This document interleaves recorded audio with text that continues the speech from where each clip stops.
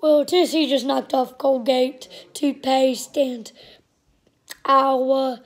Um, I'm going to talk about the Tennessee and Colgate toothpaste game first.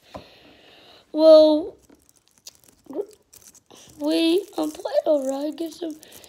Um, Colgate, though, you can obviously tell they're a really scrappy team. And they're a really crappy team, and, you know, they can just shoot the threes. Um, they're a really crappy team, and, you know, and they can shoot the threes good. Um, they were up, they they came back and they were up by like one, two. Then Schofield hit two threes at the end that made ball game. They Colgate shot three like at the very end. It should have gone in, but um, I thought it would go out, but it went in. I thought it was pretty good for Colgate.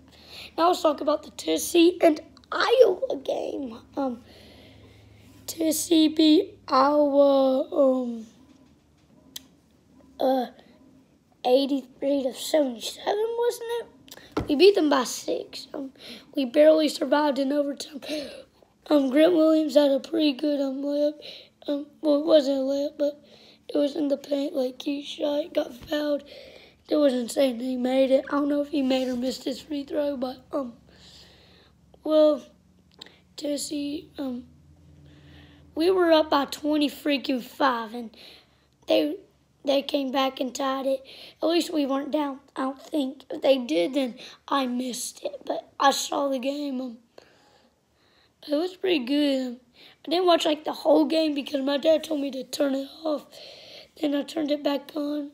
Like I missed like two minutes of it, so I'm sure they came back like after that. But Tennessee survived Iowa 77-70. Tennessee's next game next game on Thursday in the Sweet 16. Um, subscribe, comment, give a big thumbs up. Bigger than that. Don't give a big thumbs down like a dipstick would give. Well, Tennessee, I think we're going to the Final Four. Go Vols. Subscribe now.